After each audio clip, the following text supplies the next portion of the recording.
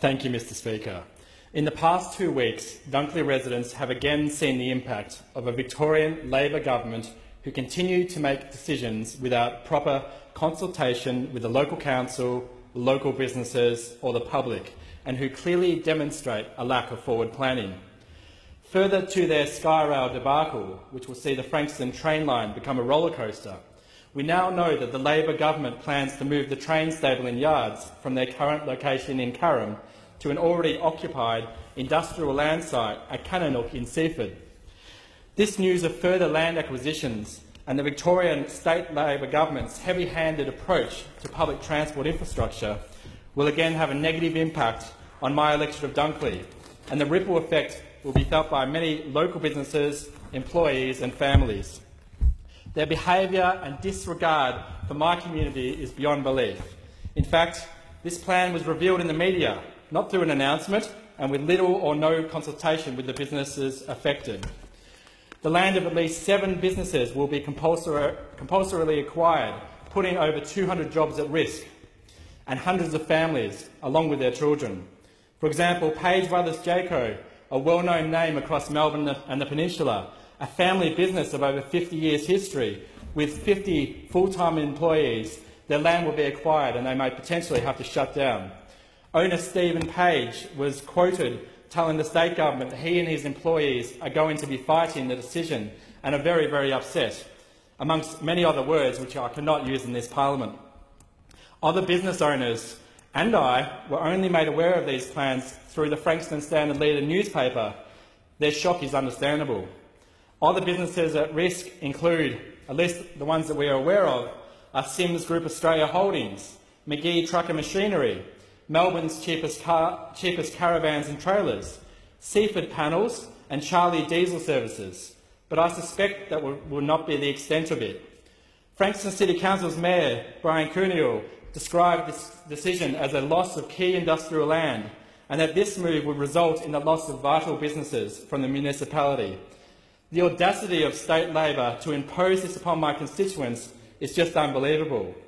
These businesses will be forced to close at great, great cost, cost, putting jobs at risk, and if they reopen, it may not be in Seaford or in my electorate. Many in this House and in my electorate are more than aware of the ongoing work by the federal government locally through my election commitment of $4 million to plan an extensive, extensive business plan into the extension of the duplication and electrification of the Metro Frankston line to Baxter, which state Labor refuses to sign off on to allow this plan to start. This federal coalition government commitment is what many in Dunkley see as real action and future planning to meet community needs and to provide connectivity. One of the aspects of the business plan is to investigate the option of moving stabling yards to an unused land location further down the line, likely near Baxter, freeing up land to create more opportunity for economic growth within Frankston, a position that Victorian State Opposition Leader Matthew Guy has endorsed.